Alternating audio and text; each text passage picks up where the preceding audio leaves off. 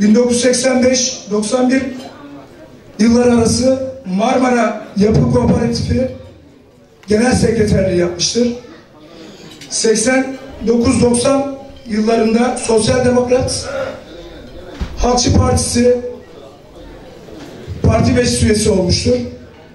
1992 DİSK üyesi, DİSK sendikaları, DİSK İşçileri Sendikası Genel Başkanı olarak sendika yaşamına yeniden dönmüştür. 1993 99 Avrupa Tekstil Federasyonu ve Avrupa İş Sendikası Konfederasyonu yönetim kurulu üyesiliği yapmıştır. 1994 1999 arası Disk Genel Başkanlığı yürütmüştür. 1999 2002 arası 3. bölge milletvekilliğimiz yapmıştır. 2007'den bu yana Tekstil Sendikası Genel Başkanlığı görevi yürütmektedir.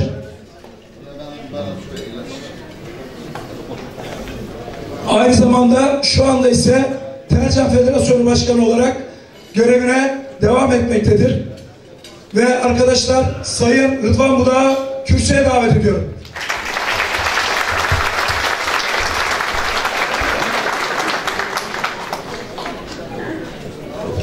Çok teşekkür ederim. Öncelikle bu toplantıyı hazırlayarak beni onurlandıran değerli hemşerilerime ve Erzincan civarından gelen hemşerilerime onlarla da hemşeriyiz. Biz aslında Cumhuriyet Halk Partisi ailesi olarak hepimiz hemşeriyiz. Burada bulunan eski ilçe başkanlarıma, aday adayı arkadaşlarıma, Abdurrahman Bey'e, İsmail Bey'e ve çok uzun yıllardır dostluğunu sürdürdüğüm değerli arkadaşlarıma teşekkür ediyorum. Değerli Cumhuriyet Halk Partililer, sevgili misafirlerimiz,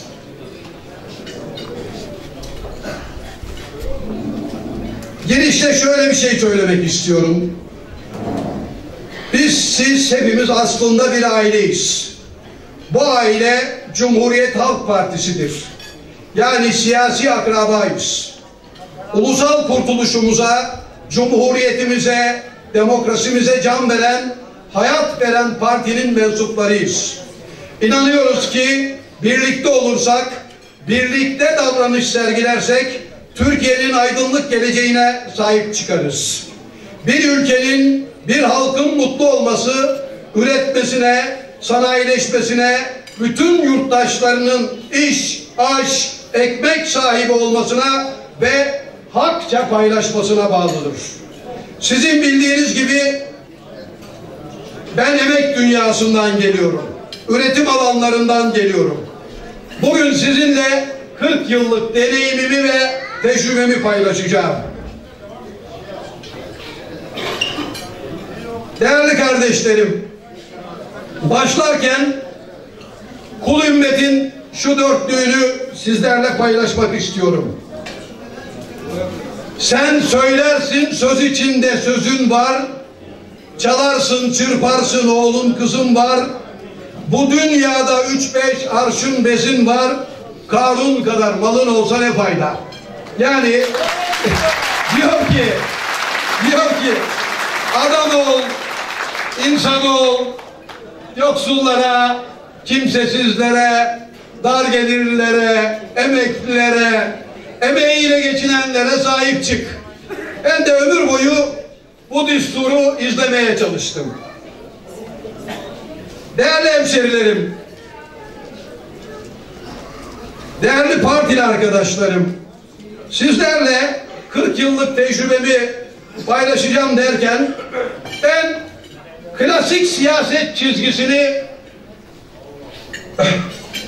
çok fazla benimseyen birisi değilim. Yani siyasetin çok onurlu, çok ulvi bir görev olduğunu kabul ediyorum. Ama Türkiye'de yapılan siyaset biçimini beğenmiyorum, sevmiyorum. Eğer nasip olur görev verilirse İS başkanlığımda, milletvekilliğimde nasıl düşünmediği, katılmadığım düşünceleri, nasıl farklı düşündüğüm konuları Ecevit gibi büyük bir lider karşısında hiç sakınmadan, terbiyemi koruyarak, ahlakımı koruyarak, onun önünde ceketimi ilikleyerek ama eleştirerek nasıl yaptıysam bundan sonra da öyle yapmaya devam edeceğim.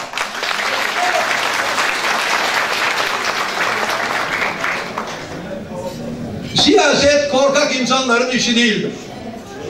Bakın şimdi Türkiye geldi bir duvara dayandı. Şimdi bu duvardan nasıl kurtulacağımızı sabahtan beri konuşan arkadaşlarım, benimle sohbet eden arkadaşlarım soruyorlar. Ne yapacağızsa biz Türkiye'yi yaşam biçimimizi, çağdaş yaşam biçimimizi bu sorunları aşarak koruyacağız diyorlar. Herkesin endişesi var. Herkes Türkiye yarın ne olacak? Çoluğumuz çocuğumuz ne olacak? Torunlarımız ne olacak? Ülkemiz ne olacak? Laiklik ne olacak? Cumhuriyet ne olacak? İşimiz, aşımız, ekmeğimiz, ailemiz ne olacak diye düşünüyor. Suriye'de de bir akşam oturdu insanlar sofraya. Hem de böyle Türkiye'nin sınırında oğluyla, kızıyla, geliniyle, damadıyla, torunlarıyla, eşiyle, ailesiyle sabah kalktılar, savaş başlamış. Ve değerli arkadaşlarım, sabah kalktılar, savaş başlamış. Ne aileleri kaldı, ne onurları kaldı. Onun için biz bu ülkede siyasetin dengelerini kurmak zorundayız. Bir kişinin keyfiyle olabilecek bu büyük olumsuzluklardan Türkiye'yi korumalıyız. Vatanımızı korumalıyız. Mustafa Kemal Atatürk'ün kurduğu layık cumhuriyeti korumalıyız. Değerli arkadaşlarım, bu pazar günü zaman ayırdınız. Ben de hızla toparlamaya çalışacağım konuşmamı. Ama biraz sessizlik ve özen rica ediyorum. Türkiye bu kargaşa sürecini aşmalıdır. Bunu aşabilecek tek güç Cumhuriyet Halk Partisi'dir. Cumhuriyet Halk Partisi oyunu yükseltirse, siyasetin dengelerini kurabilir ise bunu gerçekleştirebilir. Cumhuriyet Halk Partisi yüzde otuzu bulduğunda Adalet ve Kalkınma Partisi yüzde kırkın altına inecektir. Bu da Türkiye'de siyasi dengeleri yerli yerine oturacaktır. Çok şımarıp bu ülkeye, bu millete tepeden bakanlar da yerlerinde oturmak zorunda kalacaklardır. Değerli arkadaşlarım bunun için Cumhuriyet Halk Partisi ön seçim yapmalıdır. Uzun zamandan beri bunu söylüyoruz. Her dönemde bunu söyledik. Yarın da bugün herhalde yapılacaktı. Yarına kaldı diye söyledi arkadaşlar. Yarın da diliyorum partimiz ön seçimle ilgili, hakim nezdinde ön seçimle ilgili bir karar alacaktır. Değerli arkadaşlarım, ön seçim siyasetçinin onurudur. Ön seçim siyasetçinin onurudur. Siyasetçi ön seçimden kaçmamalıdır. Ön seçimden kaçan siyasetçi olmamalıdır. Değerli arkadaşlarım, evet, tarihte Sayın İsmet İnönü Malatya'dan, Sayın Bülent Ecevit Zonguldak'tan, Sayın Erdal İnönü İzmir'den, Sayın Deniz Baykal da Antalya'dan hep ön seçimle seçildiler. Olduğu olmadığı dönemler oldu ama bu bizim siyasi gerçeğimiz, siyasi tarihimiz. Bakın biz ne kadar siyaseti yerelleştirirsek, yani ne kadar üçüncü bölgede yaşayan, üçüncü bölgede oturan, üçüncü bölgede siyaset yapan arkadaşlarımız milletvekili adayı olursa partimiz büyüyor. Bunun örneği şu. Biz bu bölgede 13 ilçenin altısında belediye başkanlığını aldık. Ve aldığımız oylar şöyle. Silivri yüzde 48 buçuk. Çatalca yüzde 47. Büyükçekmece yüzde 46 buçuk. Beylikdüzü yüzde 51. Avcılar yüzde 45 aşağı yukarı ve Bakırköy'de yüzde 69, yüzde 70. Bunun ortalaması yüzde 47-48 yapıyor. Peki bunun ortalaması deyin ki siz hadi Bağcılar gibi büyük ilçeler devreye girdiler. Biliyorsunuz küçük çekmeceyle kıl payı kaçırdık. Aşağı yukarı bu bölgede biz iktidar partisiyle yerel yönetimlerde baş başa bir politika izliyoruz. Bir güç e, seçimi izliyoruz. Değerli arkadaşlarım genel seçime geliyor ve birden oylarımız yüzde otuza düşüyor. Peki yüzde 47 48'in 8'i daha gitti. Yüzde 40'ını almamız lazım. Zaten baktığınız zaman 99 ve diğer seçimlere bu bölgede solun oyu, emeğin, emekten yana olanların oyu yaklaşık yani Cumhuriyet Halk Partisi'nin ve DSP'nin ortak oyu yüzde kırkları hep geç, tarihte geçmiş. Şimdi adaylar ne kadar mahallenin çocuğu olursa oyumuz o kadar artıyor.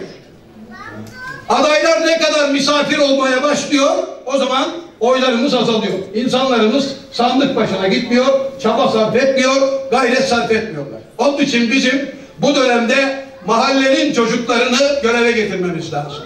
Elimiz değdiğinde elimizin değdiği, sözümüzün değdiği, yüreğimizin değdiği ve bizden olduğunu kabul ettiğimiz insanlarımızı bu dönem göreve getirmeliyiz. Değerli arkadaşlarım, 1977 seçimlerinde İstanbul'da yüzde 59 buçuk oy alıyoruz. Bakın o zaman Kars'ta beş milletvekilinin üçü bizim. Erzurum'da iki tane milletvekilimiz var. Altının ikisi. Erzurumlu var mı burada? Bir tane milletvekilimiz yok. Geçiyorsunuz bu tarafa Erzincan'da dördün ikisi. Sivas'ta sekizin beşi. Malatya'da yedinin dördü. Maraş'ta yedinin üçü. Gaziantep'te sekizin altısı. Diyarbakır'da onun yedisi. Ve Urfa'da dokuzun altısı Cumhuriyet Halk Partisi milletvekili. Açın. Ne diyorlar ona? Google mu diyorlar? Açın Google'a bakın yarın bu söylediklerimin hepsini göreceksiniz. Sevgili arkadaşlarım, değerli arkadaşlarım. Parti içi demokrasi ne kadar çok uygulanırsa örgüt o kadar çok harekete geçiyor. Örgüt harekete geçmeden yani sizler harekete geçmeden seçim kazanılmaz. Nasıl ordusuz savaş kazanılmazsa örgütsüz de seçim kazanılmaz. Hikaye budur. Bunu artık herkesin anlaması lazım. Hepimizin ayaklarının sura ermesi lazımdır ki bu seçim Türkiye'nin, Cumhuriyet'in, laik Cumhuriyet'in ve demokrasimizin ve çağdaşlığımızın seçimidir. Son seçimidir demek istemiyorum. Oraya vardırmaya gerek yok. Umutsuzluğa gerek yok. Tam tersine umut vermeye ihtiyacımız var. Değerli arkadaşlarım, bizim bu süreci çok ciddi bir biçimde kendi içimizde sorun çıkarmadan tamamlamamız gerekiyor. Esas mesele şu. Ali Çarkoğlu diye bir profesör var. Bu adam sosyal demokrat bir adam. Çok önemli bir bilim adamı. Diyor ki bir araştırma yaptık. Bu araştırmada ortaya şöyle bir sonuç çıktı. Özür dilerim. Türkiye'de insanlar iki nedenle oy veriyorlar. İki nedenle oy veriyorlar. Birisi ideolojik muhafazakarlık. Ben muhafazakarım diyor kardeşim. Ben muhafazakar olmayan bir partiye oy vermem. İkincisi de diyor ekonomik nedenlerle oy veriyor. Yani eğitimle ilgili, sağlıkla ilgili, işsizlikle ilgili, iş bulmakla ilgili, yaşamı iyileştirmekle ilgili. Ve dönüyor arkasından diyor ki solcular sizin masalarınıza koyduk orada Cumhuriyet Gazetesi'nde birkaç ay evvel çıkan CHP düzeni sorgulamalıdır diye Cumhuriyet Gazetesi'nde yayınlanan bir yazı. Özetleyerek orada yazdım. Solcular diyor ekonomiyi anlatmalıdırlar. Değerli arkadaşlarım doğru bu. Bu niye doğru biliyor musunuz? Biz bizim altı okumuzdan birisi milliyetçilik. Kafatası milliyetçiliği değil ama ülkenin ve bu topraklar üzerinde yaşayan herkesin çıkarlarını kavrayan, kapsayan, kucaklayan bir milliyetçilik, bir ulusalcılık anlayışı. Şimdi biz ne milliyetçiliğimizi ne halkın inancını günlük siyasetin malzemesi yapamayız. Biz solcuyuz. Biz hayatta halka hiç yalan söylemedik. Zamanında terzi fikri hep bunu söyledi. 12 Eylül oradan başlattılar ya. Biz solcular olarak, biz solcular olarak, hakiki solcular olarak, yüreği soldan yananlar olarak, sol göğsünün altında sol adına damara atanlar halka hiç yalan söylemedik. Söylemedik. Biz halka gidip halkımızın inancına saygılıyız. Onların inancı benim anamın babamın inancı benim inancım. Hepimizin inancı. Ama biz bunlar gibi si inancı siyasetin malzemesi yapamayız. Adam camide çıktı konuştu. Savurda konuştu. iftarda konuştu. Başkalarının inançlarını kötüledi. E böyle siyaset olmaz. Böyle siyaset olmamalı. Bu bize yakışmaz. O zaman Ali Çarkoğlu'nun söylediği doğru. Biz milliyetçiliği ve inancı günlük siyasetin mezesi haline getiremeyiz. Onlar bizim kutsallarımız. O zaman biz ne yapacağız? Biz bugün düzen 70'li yıllara göre daha bozuk. 70'li yıllarda ne diyorduk? Ne ezilen ne ezen insanca hakça bir düzen. Niye? Çünkü çok bozuk bir düzen vardır. Peki arkadaşlar bugün nasıl bir düzen var? Toprak isteyenin, su kullananın, büyük lider Ecevit'in Karaoğlan deyip düştüğümüz zaman arkasına söylediği ve halkı derleyen, toparlayan, arkasına düşüren, CHP'yi yüzde 42'lere getiren o saydığım oy oranlarıyla beraber yüzde 59,5 oy alarak oraya getiren bu sloganlardır. Yani daha hakça bir paylaşım. Şimdi arkadaşlar o zaman Türkiye'nin dolar milyarderi neredeyse yoktu. 2006'da Türkiye'de dolar milyarderi sayısı 2006'yı bak. Dünkü gibi söylüyorum. 6 idi. Başta Koç, en aşağıda da en başta da sanayici olan, üretici olan ve Türkiye'de markalaşmış 90 yılda 6 kişi vardı. 6 aile vardı. 6 holding, 6 şirket vardı. Bugün 66 oldu. Yani 70 70'li yıllara göre bugün ulusal gelir çok daha adaletsiz paylaşılıyor. Kaça çıktı? 66'ya. Nereden çıktı? Ranttan çıktı. Nereden çıktı? İmardan çıktı. Nereden çıktı? Sahte düble yollardan çıktı. Şimdi böyle bir ekonomi işlemez. Böyle bir ekonomi duvara çarpar, üretimin bu kadar dışlandığı bir ekonomi duvara çarpar ve hep beraber o çarpmanın altında kalırız. Onun için de iktidar değişmesi lazım. Bakın Türkiye'nin borcu 230 dolar milyar dolardan 800 milyar dolara çıktı. Türkiye bilme dayalı, teknolojiye dayalı ve uluslararası rekabet gücü olan bir tek fabrika yapmadı. Ama hepimiz borçlandık. Peki yani hepimiz borçlandık. Devlet aldı. Borçlanmadık mı? Özel sektör 28 milyar dolar borcu vardı. 2002'de bugün özel sektörün 300 milyar dolara aşan dış borcu var. Devlet güvenceli dış borcu var. Değerli arkadaşlarım, devletin borcu milletin borcudur. Ben borçlanmadım diyemezsiniz. Yarın gelirler, size düşen neyse sizden onu alırlar. Onun için iktidar değişikliğinin olması lazım. İktidarı muhakkak Türkiye değiştirmeli, Türkiye yeni bir morale kavuşmalı ve yeniden bir orkestra kurup Türkiye yönetilmeli. Aksi takdirde yalnız layık cumhuriyet, yaşam tarzımız, çağdaşlığı koruma gibi endişeler değil. Aynı zamanda büyük bir ekonomik alt üst oluşu da yaşayabiliriz. Bakın hemen taze bir haberi söyleyeyim. Cuma günü Çerkezköy'den bir iş yerinin sahibiyle konuşuyorum. Pazar 6 ay evvel pazar günleri bile mesai yapılsın diye bizden ricada bulunuyordu. İşçileri ikna edin diyordu. Şimdi cumadan tatil ediyorum dedi. Önümüzdeki aydan itibaren perşembeden itibaren tatil ediyor. Sırf masraflardan kaçmak için bir süre işçi çıkarmadan işletmeyi sürdürebilmek için. Ekonomi de iyi değil arkadaşlar. Bütün ama bu iyi olmayanların yerine biz ne koyacağız? Esas olan o.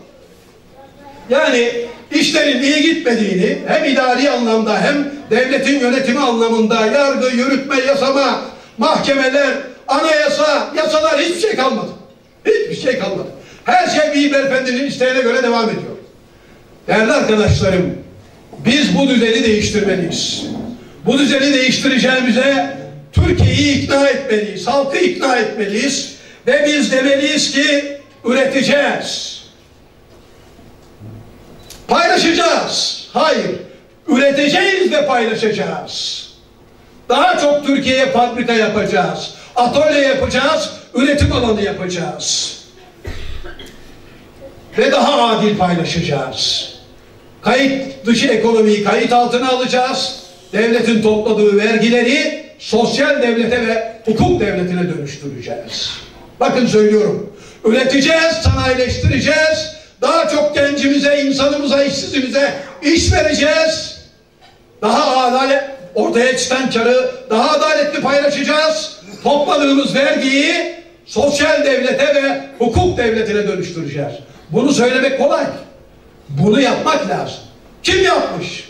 Brezilya'da sol parti yapmış. Lula de Silva yapmış. Sendi, maden sendikasının başkanı gelmiş ve arkadaş grubuyla beraber 175 milyon nüfuslu Brezilya'da kendisini dinledim. Kısaca anlatıyorum.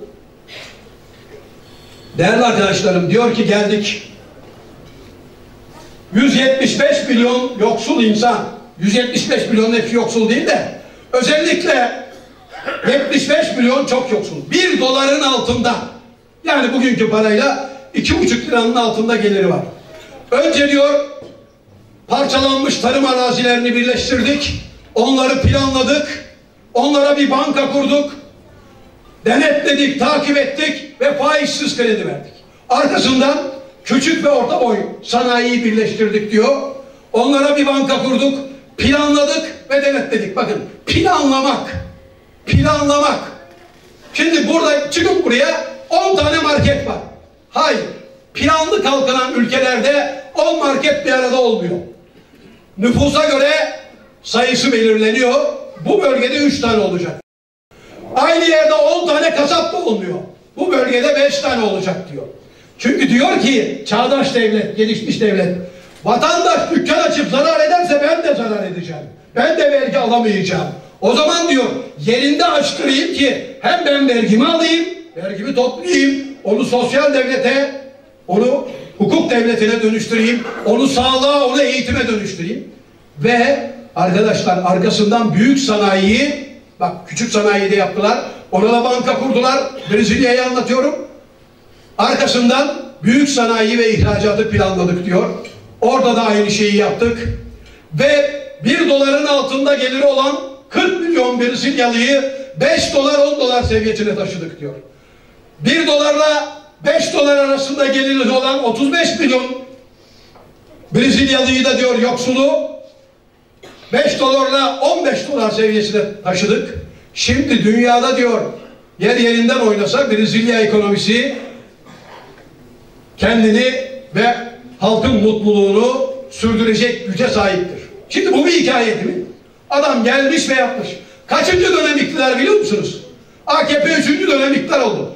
AKP borçlandırdı Türkiye'yi ve dağıttı arkadaşlar. AKP'nin yaptıklarıyla sattıklarına baktığınızda TÜPRAŞ'ı, PET gibi, Sümer Bankları, et balık kurumları, süt endüstri kurumlarını, limanları her şeyi sattı. Bunun karşılığında yaptığı ki birbirini karşılar. Peki aldığı 600 milyar dolar borç nereye gitti? Şimdi bak adam diyor ki arkasından biz diyor bir hikaye yazdık, planladık ve anlattık. Şimdi Cumhuriyet Halk Partisi Brezilya'dan Brezilya'yı model olarak alabilir. Veya Türkiye'ye has bir politika izleyebilir. Ama anlatacağız şu. Bu toplumu bir arada tutan sosyal devleti güçlendireceğim.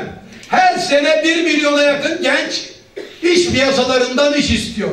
Bu gençlere iş vereceğim. İki dil bilen çocuklarımızın benim masamda isteyen gelin gelsin Şirin Evler'de Tekstil Sendikası'nın bulunduğu katta açın bakın abi bir tanesi gözümün içine bakıyor. Sinan orada. Sinan'a iş arıyoruz. Üniversite mezunu bitirmiş. Sosyolog olmuş. iş arıyoruz. Ya böyle bir şey olabilir mi ya? Bu kadar çok üniversite, 186 tane üniversite kurdun kardeşim. Niye işe yarıyor? Hocası yok, bilgisi yok, teknolojisi yok. Üniversite dediğin bir ülkede sanayinin kuruluşunda sanayi kurumlarıyla, sanayi kuruluşlarıyla, sendikalarla, mimarlarla, mühendislerle ve sanayicilerle oturur, o ülkenin sanayinin gelişmesini planlar. Üniversiteler bu işi yaparsa bir işe yararlar. Yoksa hepimiz vergi veriyoruz. Hepimize verdiği vergilerde eğitim alanlarında kullanılıyor. Dolayısıyla değerli arkadaşlarım işin gerçeği şudur. Ulusal gelir çok adaletsiz paylaşılmaktadır. Türkiye 12 yıldan beri sanayileşmeyi terk etmiştir. Türkiye yeniden sanayileşmelidir. Ve sanayileşmeyen bir ülkenin çağdaş bir ülke olması, demokratik bir ülke olması mümkün değildir. İşte Suudi Arabistan. Petrolü var. Elinden petrolü aldığınız gün hepsi aç kalırlar. İşte Avusturya, Almanya, işte İsviçre. Saati al turizm kalır. Turizmi al bankacılık kalır. Bankacılığı al bilmem ne kalır. Yine 30 bin dolarla alır vaziyeti götürür. Sanayinin zenginliği değerli arkadaşlarım demokrasinin zenginliği demektir. İşin, aşığın, ekmeğin, çocukların geleceği demektir. Sanayi iştir, aşktır, ekmektir, özgürlüktür, eşitliktir. Yeter ki devlet onun paylaşımını adaletli hale getirsin. Yeter ki devlet sermaye devleti olmasın. Yeter ki devlet hem sanayicinin hem onun çalıştırdığı işçinin devleti olmayı becersin. Hikaye budur. Yani biz bu düzeni değiştirmezsek, biz bu AKP düzenine rızayı gösterirsek, değerli arkadaşlarım, bunun arkası gelmez. AKP devletine ve AKP'nin kurduğu rant düzenine karşı çıkacağız. Her gün hırsızlık diyerek de olmuyor. Hırsızsınız, yolsuzsunuz. Millete alıştırdılar ya. Deli olmuyor musunuz ya? Deli olmuyor musunuz? Bu kadar hırsızlık ortadayken hala yüzde kırkın üzerinde oy alacakları araştırmalarda ortaya çıkıyor. Hepimiz sinirden patlıyoruz. Arkadaşlar biz onlara hırsızsınız demek yerine yargı yolu orada diyeceğiz. Arkasında da diyeceğiz ki biz hırsızlık yapmayacağız. Yaparsak yuh olsun bize diyeceğiz. Yuh olsun.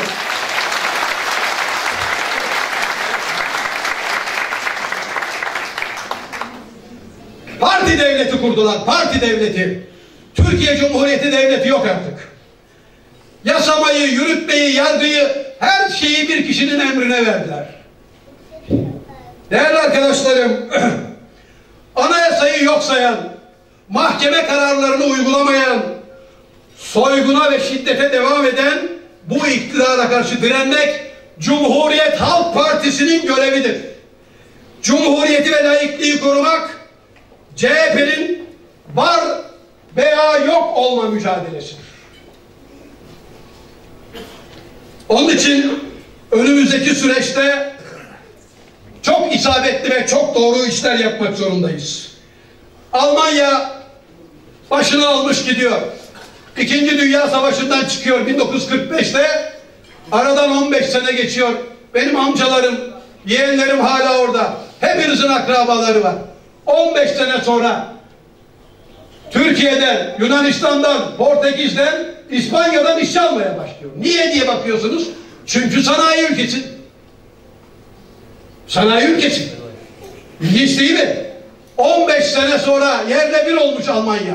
Sanayi ülkesi olacağız. Cumhuriyet Halk Partisi diyecek ki bu ülkeyi sanayi ülkesi yapacağız. Üniversitelerden mezun olan çocuklar, gençler işsiz kalmayacak. Herkes evine ekmek götürecek. Bizim iddiamız bu olmalı. Bizim en büyük iddiamız bu olmalı. Sosyal devlet yani o devlet baba diye baktığımız devlet toplumun barışının çimentosu. O devleti yeniden yaratmalıyız. Değerli arkadaşlarım milletvekili olmak yeterli midir? Milletvekili olunmalı mıdır? Evet, emeğiyle, alın teriyle uğraşan herkes milletvekili olma hakkına sahip olmalıdır. Ama bir tek şey söyleyeceğim onlara. Örgütün sınavından kaçmayacaksınız. Yani çok kısaca söylersem geleceksiniz. Hanımlar bağışlasınlar. Eh, delikanlıca gireceksiniz sandığa. Korkmayın sırat köprüsü değil. Örgüt hak ederseniz, emeğiniz ve alın teriniz varsa sizi oradan geçirir, götürür. Milletvekili olabilirsiniz. Bir de milletvekilliğinden sonra yapmanız gereken işler var. Onlar neler? Milletvekili yalnız Ankara'ya giden adam değildir değerli arkadaşlar. Milletvekili bulunduğu bölgede de insanları ihmal etmeyecek. Şimdi zaman zaman arkadaşlarla konuşuyorum. Tabii benim şansım o dönem iktidar olan bir partinin milletvekiliydim. Ama yaptığın her şey sana döner diyorlar ya. O şekilde dönüyor. İnşallah bu dönemde Cumhuriyet Halk Partisi iktidar olur. Yine hepimize aday olan arkadaşlarımıza, örgütümüzün sınavdan geçirdiği arkadaşlara iktidar milletvekili olmak nasip olur ve vatandaşların sorunlarını çözeriz.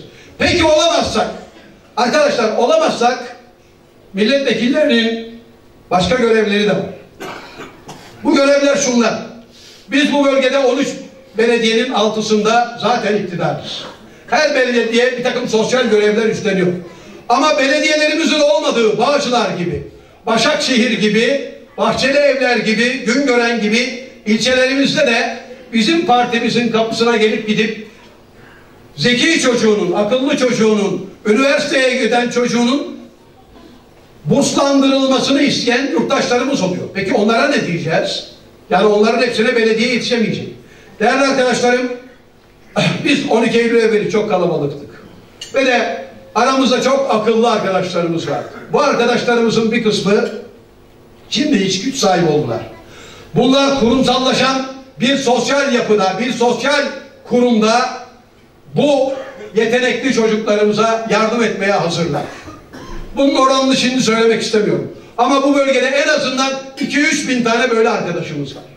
Onlardan ve yerel yönetimlerimizden oluşan bir ortak sosyal destek fonu kuracağız. Ve yoksul insanlarımıza, dar gelirli insanlarımıza, özellikle öğrenci okudan insanlarımıza, ailelerimize yardım edeceğiz. Ayda bir evine et girmeyen evlere böyle bir politikayla biraz daha et, biraz daha süt girmesini sağlayacağız. Değerli arkadaşlarım,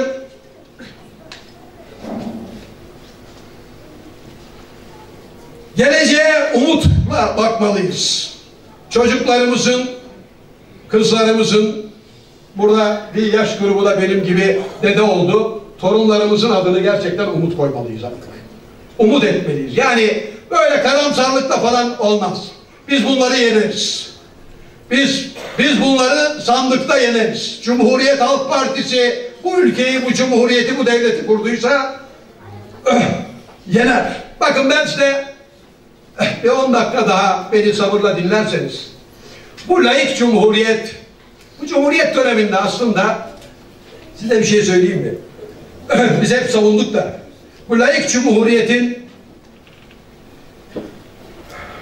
sıkıntısını bu ülkede siyasi yelpazenin sağ tarafında olan insanlarımız bizim çektiğimiz gibi çekmediler.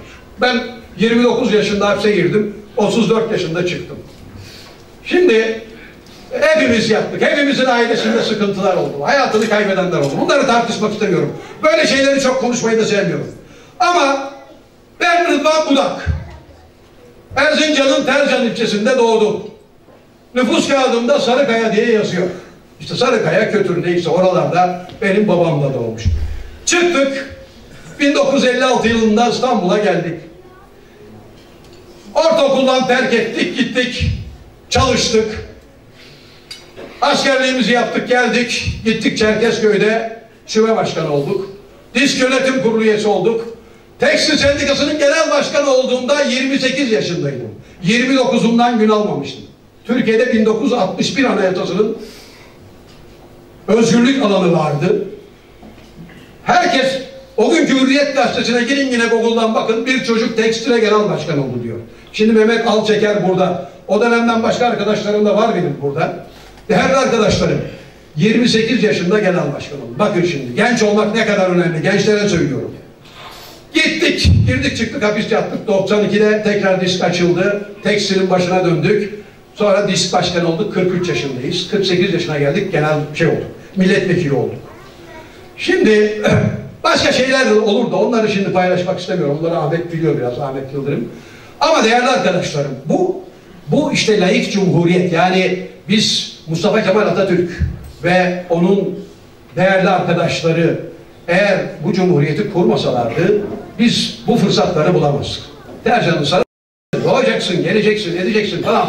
Padişahlık devam edecek, sultanlık devam edecek, onun benzeri bir yönetim biçimi devam edecek. Olmaz, olabilecek bir şey değildir. Ama yalnız ben mi? Bakın şimdi, bana çocukken soruyorlarmış. Şimdi e, ben şimdi bir takım mesela köy isimleri sayarım. Pelegöz, Çirkis, Vartik, Mırık, Kötür, Sarıkaya. He, tercanlar bu isimleri biliyorlar değil mi? Şimdi değerli arkadaşlarım, bana ben dedemin ilk torunuyum. İşte dedem beni çok seviyor. Böyle torunlar sevilir ya ben de şimdi bir kız torunum var ona bayılıyorum.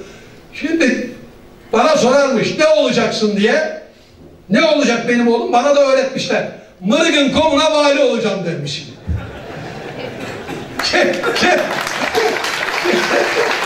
ya şimdi Mırgın komu böyle 20-30 haneli bir yer.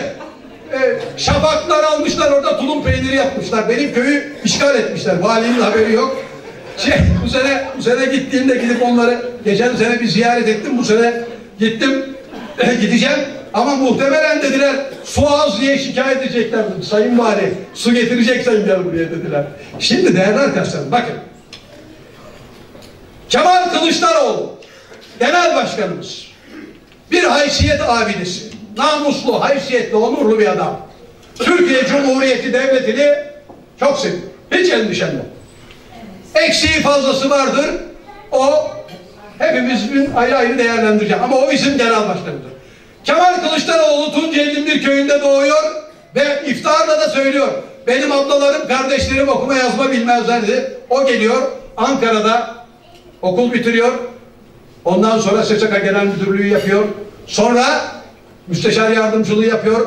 Sonra milletvekili oluyor. AKP'nin iki tane genel başkan yardımcısını bilgisiyle istifa ettiriyor. Şimdi bakın. Şimdi Tuncelili Alevi yurttaş. Bak şimdi bu cumhuriyete bakıyoruz. Tuncelili Alevi bir yurttaş. Ailesinde kendinden küçük ve büyük okuma yazma bilmeyenler var. Ama geliyor devleti kuran partinin genel başkanı oldu. Bu cumhuriyet Rıdvan Budak'tan disk başkanlığını Kemal Kılıçdaroğlu'ndan devleti kuran partinin genel başkanlığını kıskanmıyor. Peki arkasından ne oluyor? Arkasından çoban olduğunu hep söyleyen Süleyman Demirel'i İslanköy'deki çoban Süleyman'ı becerisiyle, aklıyla, zekasıyla ve tevazusuyla bunu söyleyen Sayın Demirel'i getiriyor. 40 yıl siyasetin içinde tutuyor. Başbakan yapıyor, Cumhurbaşkanı yapıyor. Şu Cumhuriyete bakın. Cumhurbaşkanlığı müsaade eder misin? Cumhurbaşkanlığı mevkiine kadar getiriyor. Bak. Arkasından Kayserili torna ustası neydi Abdullah Bey'in babasının ismi? Evet, Hamdullah Bey'in oğlunu neyse getiriyor ben tanırım. Harbi Sendikası'nın iş yeri temsilciliğini yapmıştır. Getiriyor. Başbakan, Dışişleri Bakanı, Cumhurbaşkanı yapıyor. En son İmam Hatip mezunlarına bu ülkede zulmediyorlar diyen kendisi de İmam Hatip mezunu olan Sayın Cumhurbaşkanımız, bugünkü Cumhurbaşkanımız Sayın Tayyip Erdoğan'ı İstanbul Belediye Başkanı yapıyor, milletvekili yapıyor, başbakan yapıyor ve en sonunda getiriyor Cumhurbaşkanı yapıyor. Değil mi? Obama'ya bile laf söyleyecek hale geliyor. Şimdi hala devlete ve cumhuriyete muhalefet. Yahu şimdi Nenemin bir lafı vardı. Böyle çok densizlik yaptın mı birisi torpak başa dedim derdi. Çok daha fazlasını yapınca da kara fata giresen derdi. Ya insaf et be kardeşim. Yani böyle bir şey söylemiyorum ama yani Allah çoluğuna çocuğuna bağışlasın da bize değil onlara bağışlasın. Ama yapma bu kadar be kardeşim. Yapma bu kadar ya. Bu kadar şımarma. Bu kadar bühtan etme. Bu kadar iftira atma bu cumhuriyete. Değerli arkadaşlarım laiklik konusunda bu cumhuriyeti koruyacağız. Laik Türkiye'yi koruyacağız. Hayatımız pahsına koruyacağız. Torunlarımız için koruyacağız. Çocuklarımız için koruyacağız. Mustafa Kemal Atatürk için koruyacağız. Şehitlerimiz için koruyacağız. Çağdaş Türkiye için koruyacağız. Abdullah için, Ethem için, Mehmet için, Berkin için, Ali İsmail için koruyacağız. Onların ruhları şad olsun diye koruyacağız. Ve bir defa o çocukların ailelerine baş sağlığı dilemeyen diktatörlere karşı koruyacağız. Koruyacağız. Koruyacağız. Ölümüne koruyacağız cumhuriyeti. Değerli arkadaşlarım, konuşmamı şöyle bitirmek istiyorum. Cumhuriyet Halk Partisi kendiyle sınırlı bir parti değildir. Cumhuriyet Halk Partisi aynı zamanda bu ülkenin sağ siyasetini, siyasetini de sağ siyasetini de ehlileştirecek olan, demokratikleştirecek olan, normalleştirecek olan, çağdaşlaştıracak olan partinin adıdır. Çünkü Türkiye'yi çağdaşlaştıran partidir. Türkiye'yi çok partili sistemle tanıştıran partidir Cumhuriyet Halk Partisi. Cumhuriyet Halk Partili olmak gerçekten bir onurdur. Ama artık Cumhuriyet Halk Partisi'ni yöneten yarın bir yetki sahibi olursam bunları yüz yüze konuşacağım. Zaten konuşuyorum da daha bir yüz yüze konuşacağım. Daha bir etkili konuşacağım ama yarın bir karar alınacak. İşte denecek ki şu kadarını kontenjan kullanacağız. Değerli arkadaşlarım, 1977'de İstanbul'da %59,5 oy aldığımızda kontenjan kullandı Ecevit. Gücünün zirvesindeydi. Üç kişi. Besim üstüne bu ismi hatırlayanlar vardır. Hikmet Çetin, Hikmet Bey'i zaten hepiniz tanıyorsunuz. Ve Solmaz Belice diye bir ablamız var. Üçüne kullandı. Yer yerinden oynadı. O nasıl üç tane kullanırsın diye. Ve değerli arkadaşlarım zirvesin, gücünün zirvesinde olan Sayın Ecevit o dönem eleştirildi. Partici demokrasiyi çiğnedim diye. Partiler kontenjan kullanırlar ama bunu sınırlı kullanırlar. Eğer kullanacaklarsa bakın eğer kullanacaklarsa ben bu bölgede iddialı adaylardan birisiyim. Aday adaylarından birisiyim. Bütün arkadaşlarıma iştenlikle başarı diliyorum. Birinci olurum, en sonuncu olurum. Birinci olursun, olursam herkesin, bütün arkadaşlarımı yanıma alırım, yürürüm. Eğer en sonuncu olursam gelip arkadaşlarımla beraber çalışırım. Burada size bunun sözünü veriyorum. Şimdi değerler, bunu hep zaten böyle yaptım. Yani benim için fazla bir söz. Beni tanıyanlar bilirler. Ama kontenjan kullanacaklarsa bir, gezi bileşenleri için kullanın kardeşim. İki, Haziran hareketi için kullanın. Üç, mağdurlar için kullanın. Mağdur edilenler için kullanın. Onların temsilcileri için kullanın. Muhalifler için kullanın. Bizim de yüreğimiz yanmasın. Yani şarkıcısı, türkücüsü, ocusu, bucusu, futbolcusu, bilmem nesi. Bu siyaset herkesin işi değil arkadaşlar. Siyaset herkesin işi değil. Şimdi kalkıp mesela Mükerrem Kemertaş gibi tutam yareninden tutam düşen bağlara bağlara türküsünü söylesem bir taraftan açık verir. Olmaz. Bilemem. Türküyü çok seviyorum ama söyleyemem. 50 yıldır dinliyorum. He? Şimdi onun için herkes işini yapmalı. Siyaset, yani siyaset bizim tek elimizde değil. Mimar var, mühendis var, doktor var, işçi var, memur var, herkes var. Ecevit, Ecevit vallahi Mersin'den muhtar milletvekili yaptı. Tarihte Beşiktaş muhtarı 1977'de Cumhuriyet Halk Partisi'nin ön seçimde muhçeyi olmuştu. Bak bir muhtar oradan elini kaldırıyor. Hazır kardeşim. Kalk bir görsünler. evet önümüzdeki seçimin aday adayı. Şimdi arkadaşlar şöyle bitiriyorum.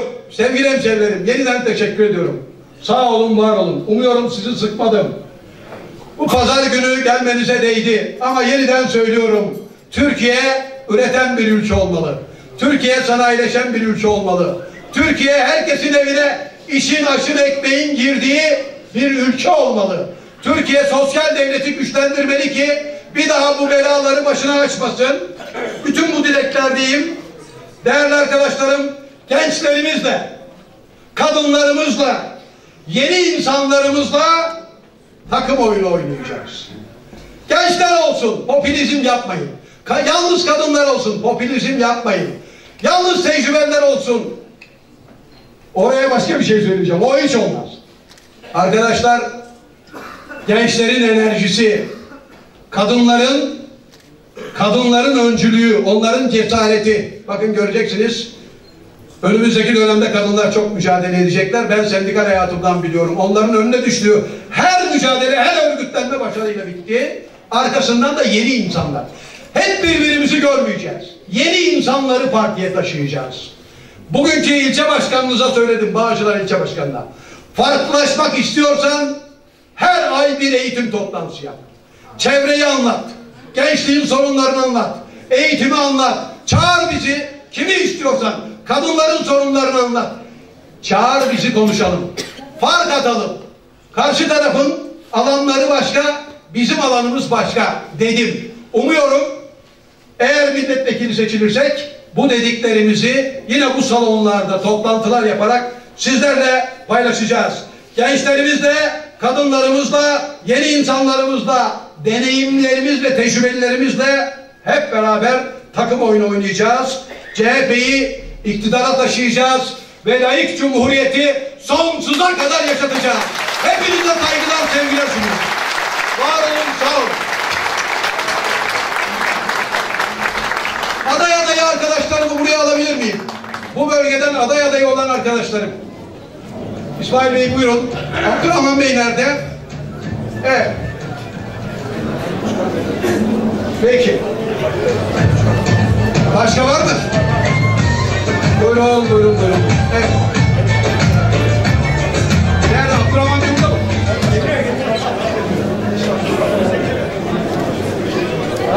Çok büyük.